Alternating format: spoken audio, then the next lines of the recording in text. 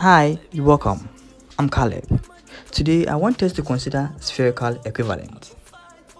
You see, sometimes we need to use only spherical power to provide best vision in someone with astigmatism.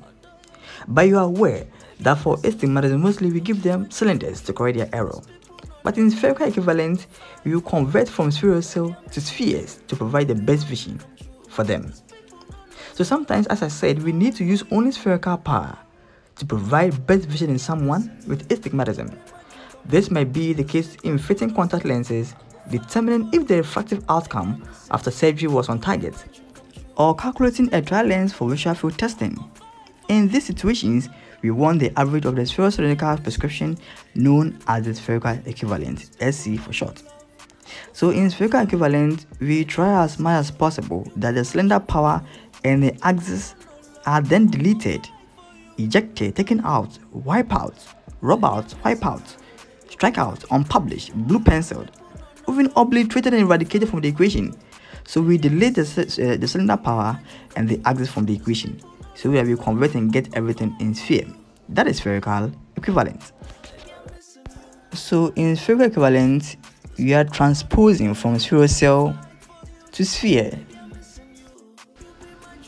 The spherical equivalent is defined as the spherical power whose focal point coincides with the circle of least confusion of a spherospherical lens.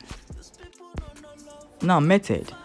Now here we will divide the cylinder into two and we will add to the sphere. But when you're doing so, take into consideration the sign of cylinder. Example 1. So I have a spherocyl that is plus 2 combined with minus 6 axis 180. This is a spherocyl because I have the first component with my sphere and my second component with the axis being my cylinder. So this is spherocyl. Now in spherical equivalent, I'm transposing from spherocyl to sphere. So now divide the cell into 2 with the cylinder and the cylinder here is minus 6. So when divide into 2, I'll get minus 3. Then I add to the sphere which is plus 2. So plus 2 plus minus 3, I'll get minus 1. So here, my spherical equivalent is minus 1.0. Add the diopters, the ds should be added. Minus 1.0 ds. So minus 1.00 ds or diopter sphere become the spherical equivalent for the spherocyl. Another example, I have here minus 2.00 combined with plus 6 axis 90. This is my spherocyl and I'm transposing to spherical equivalent.